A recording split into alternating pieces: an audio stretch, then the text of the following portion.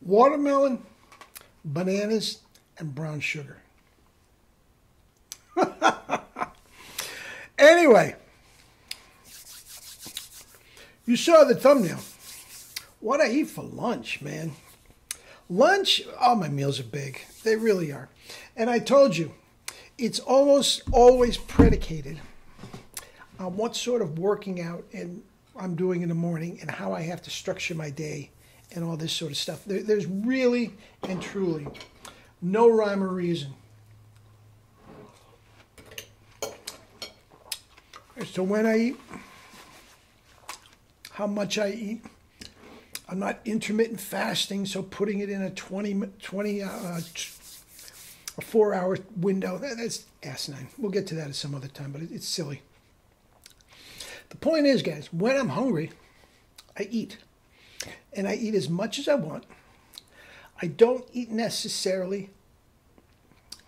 I keep, as you know, to a very strict fruit, veggie, corn, rice, peas, potatoes, and some veggies, you know, that type of thing.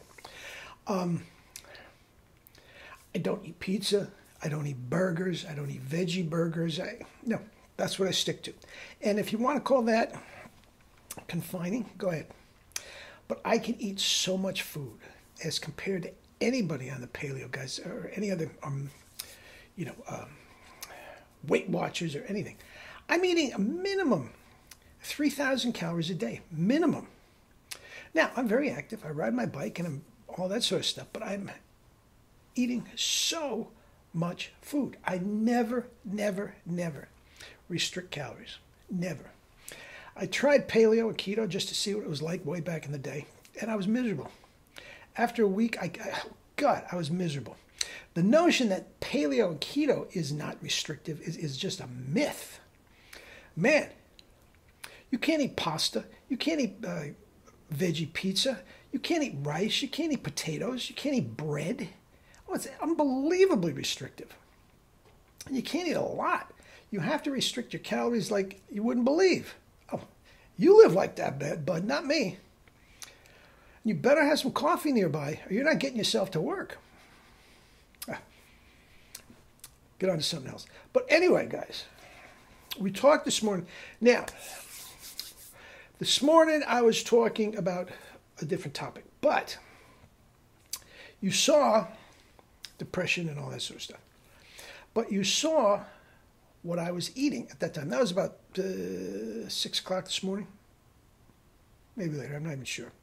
Up to that point, I had done a bike ride. I had meditated. I got some work done. I had been up for several hours. Okay. All I was doing, I started off with a uh, liter of fresh water, sleep water sugar. That's not necessarily sugar water. You want to keep the, the, the water, the fresh water, flushing you out, keeping your mouth dry, uh, wet rather, lubricated and whatnot. Okay? Um, and I was drinking, as you saw, sugar water. I was also drinking juice. Now, the reason for that is I want energy, I want mental clarity, the whole nine yards, but I don't want to get filled up because I'm going to work out. Okay? Now, after my, I always, depending on, um, depends on the schedule, but for the most part, I split up my workouts over the course of the morning. Okay? And uh, I finished my first workout about 7 o'clock. Yeah, about 7 o'clock. 7.30 maybe, doesn't matter. And I did, took three hours off, got some work done. And I started again working out about 10.30, riding my bike, okay? During that time, I didn't want to have a big meal because I didn't want my stomach full. Now, I, on the other hand, I refuse to go hungry. Ain't gonna happen. I have never done it. Well, again, a couple times I tried, but I'm not going hungry. Life's too short, man. Life is too short. So, the juice, the sugar water, I was not the least bit hungry. My energy was crazy. It still is. Now remember, I got up at about 3 o'clock. This is nine hours later, guys. And I'm still ready to go. Now, this is my first uh, solid food of the day. And again, that's not necessarily because I'm trying to intermittent fast or anything that restrict calories or anything. Trust me, I get my calories in. As I said, it is always predicated on my workouts. I don't want to work out on a full stomach. I, am through working out for the day for the most part. And I'm starting the uh, solid food. This, about 12 o'clock, this will last me a couple hours. This batch I hear. I will have some more fruit. I might have some single bananas. I might have some prunes. I might have some dates. They're all up there. Then I will start the cooked food. I'm going to have uh, an enormous plate of rice and corn, I think, for um, for dinner tonight. I uh, like to stop eating about four o'clock. If I eat at five or six, it doesn't really matter. But I like to start at four because I don't like to go to bed while I'm still digesting food. Okay? There's one reason and one reason only for that. When you are sleeping, that is when you are doing the bulk of your rejuvenating.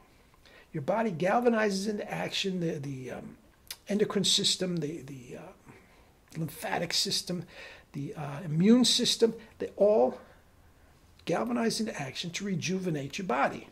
Okay? If you have a full stomach, the digestive system and the immune system and all these things are working to digest the food instead of rejuvenating the cells in the body. Okay? So I like to get as much as I can the digestion out of the way before I go to bed, before I fall asleep.